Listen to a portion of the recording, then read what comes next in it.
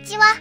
今回は時々ボソッとロシア語で出れる隣のアーリャさん。第5話への視聴者の反応をご紹介します。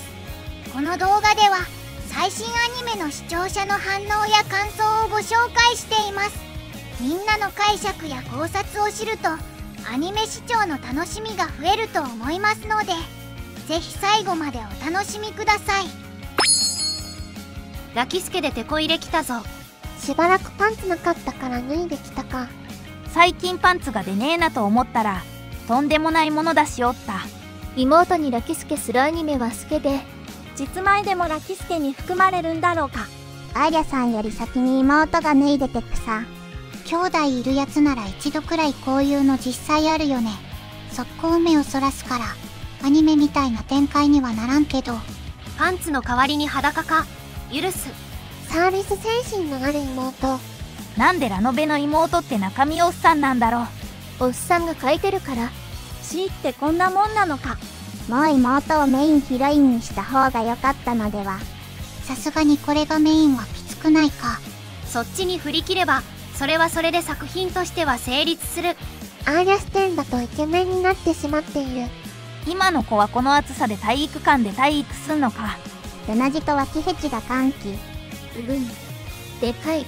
やはりオマルパイは巨乳の方が。高校生が脇で興奮するわけないや。んだな。ポロシャツ JK でアホなほど見てる。素人か。脇ちらからのブラ見てるんやぞ。姉もでかいのか。もっともっとその目で罵ってください。はは。女率高い生徒会。おむクソ身内生徒会やな。妹来たら修羅場感あるな。学校だと別人だな妹自宅では全裸四つん這いで兄貴のことを追いかけてるとは思えない。声と話し方も別人だもんでずっと演じててきつくないのかな。縛りクレイの石として友達ともずっとあのキャラなんでしょ。仲良くできるのすごい。兄弟が憎みもいる生徒会。エンディングのチョイス的に狙ってるのは35歳から40歳くらいか。学園天国はそこより上だし可愛くてごめんはもっとしたらめでたく生徒会揃ったが女子レベル高すぎるだろ。今回もアーリャとマーシャが可愛かった。あんな胸で体育してたら注目の的だな。実舞ちゃん出てる回の面白さ跳ね上がる現象は何だろうか。出ない回と明らかに勢いと熱量が違う。濃いキャラ他にいることでようやっとバランス取れる印象。妹ちゃんアホかわいい。実舞こいつほんと面白えな。実質主役じゃね妹好き。アーニャより妹の方がネタ作りに力入ってないか。どう考えても妹応援の方がよくね。妹は一人で何でもやれるから助ける必要ない。アーリャは一人でしかやれなくなるけどうまくいかないから助ける必要がある。最後はマーシャエンドでお願いします。今週とかお姉ちゃんが頭を拭いてくれてる時とかぼそっとロシア語で嫉妬するチャンスだろあのシーンでアーリャの気配完全に消えてたのなんでだよ。確かにロシア語なかった。アーリャさんロシア語なしでもデレまくってるじゃん。妹ちゃん可愛いけどアーリャさんが何か食われ気味なのどうなん。曲がりなりにもヒロインなのに。付き合ってもいないのに他の女の子と考えただけで平手打ちってどういう要件なんだ。アーリアにゃんぬいぐるみ商品化してほしい。体操服のアーリャ見てるまさちかは完全に俺ら目線で共感しまくりだったぜ。学校パートは主人公のむっつりスケベと体操服を楽しむものだと思った。でも多分これから生徒会長選がメインになっていくんやろ。構図が複雑だな。いやちゃんと追いかけますよ。まさちかくんお兄お兄ちゃんあんちゃん兄じゃマイブラザー。仕事細かいな。相当に兄を慕っているようだ。そう家寛容だね。ユキのクゼ系の外泊許すあたり妹ちゃんが実舞で本当に良かったな。勝てる気がしないわ。すまない。誰か実舞と結婚できる国を知らないか。妹の存在感がすごい。他のヒロインはもっと頑張った方がいい。まあアリャが追い上げるのは作品の構成的にもここからだから。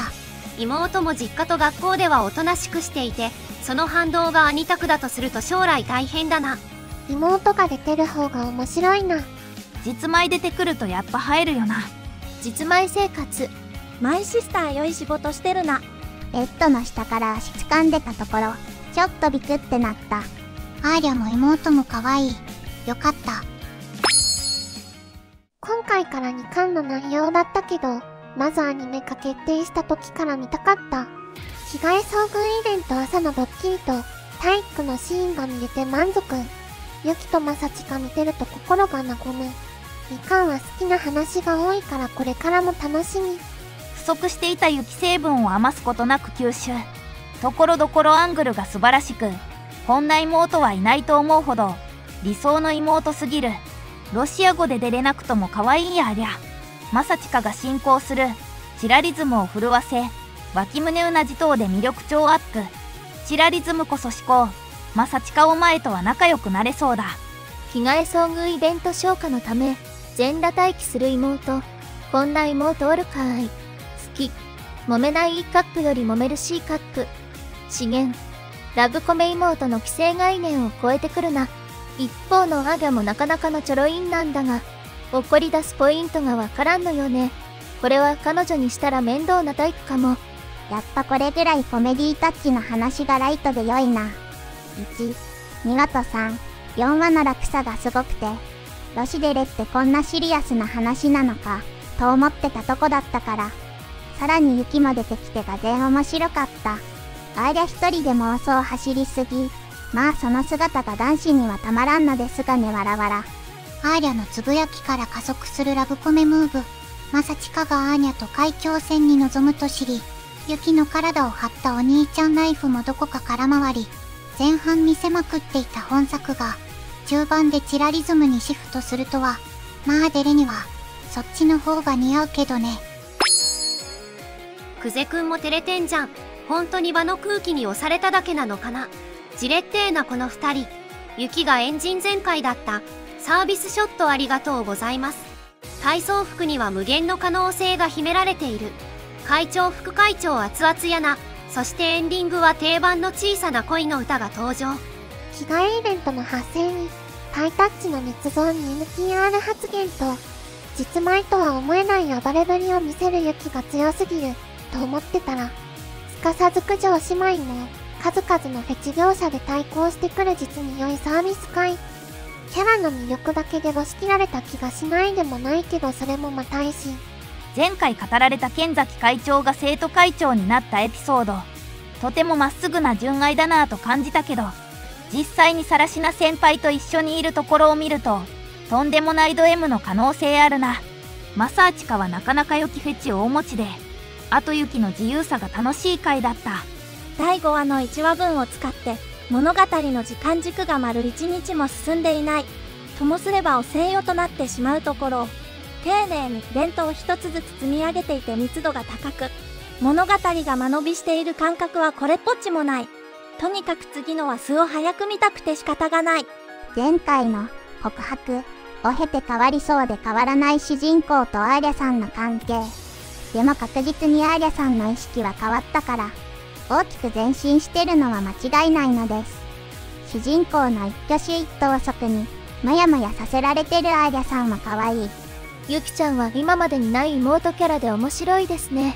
C カップとか最高やんけちょっとずつ家庭環境も分かってきたけどやはり複雑な状況みたいですね。そんなマサーチカの心を救えるのはやはりアーリャさん。お互い意識し始めてる感じがラブコメしててよかった。兄者がね取られた。やっぱり妹ちゃんユキのキャラとノリが好きだわアンドチラリズムは正義。